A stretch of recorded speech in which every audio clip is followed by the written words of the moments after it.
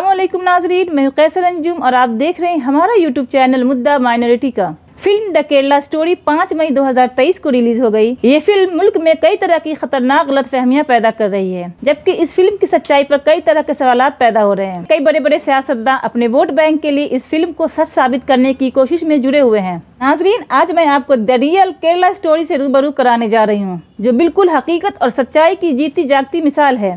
जी हाँ ये कहानी है केरला में रहने वाले अब्दुल्ला और खदीजा की। अब्दुल्ला और खदीजा ने एक हिंदू लड़की को गोद लिया, जिसके माँ बाप बचपन में ही गुजर गए थे। अब्दुल्ला और खदीजा ने जब इसे गोद लिया, उस वक्त उस बच्ची की उम्र दस साल थी। इस लड़की की तालीम तरबियत और ज़िम्मेदारी बहुसने खूबी खदीजा और अब्दुल्ला ने निभाई। और जब लड़की बाईस साल की हुई तो उसके लिए हिंदू लड़का तलाश कर उसकी शादी हिंदू रस्म रिवाज के साथ करवाई।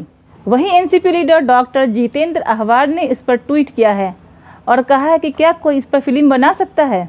सिर्फ़ नेगेटिव चीज़ दिखाकर देश में कॉमनल राइट करवाने की कोशिश की जा रही है।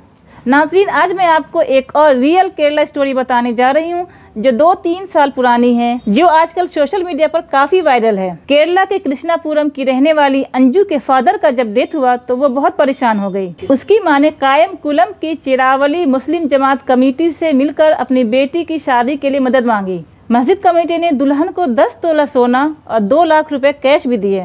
इसके बाद अंजू की माँ ने मस्जिद कमेटी का तहदिल से शुक्रिया अदा किया। वहीं केरल के सीएम विजयन ने कपल को ट्वीट कर बधाई भी दिया। हिंदू लड़की की शादी मस्जिद में होने पर ए रहमान ने शादी का फ़ोटो शेयर कर ट्वीट किया कि मानवता के लिए प्यार बिना शर्त होना चाहिए। नाजरीन, आज हमारे देश को ऐसी हकीकत पर based film real Kerala story की सख्त ज़रूरत है। जिस फ़िल्म को देखकर लोगों के दिलों में एक दूसरे के लिए उनकी मुसीबत, उनकी ज़रूरत, उसके बुरे वक्त में उसकी मदद करने का जज्बा और तरफ़ पैदा हो। तब जाकर हम एक बेहतरीन समाज का निर्माण कर सकते हैं। तो दोस्तों, कैसी लगी द रियल केरला स्टोरी हमें कमेंट बॉक्स में ज़रूर लिखें। अगर आपको हमारा वीडियो अच्छा लगा है तो इसे लाइक करें, ज़्यादा से ज़्यादा शेयर करें। और अगर आप हमारे चैनल पर पहली बार आए हैं तो इसे सब्सक्राइब करें।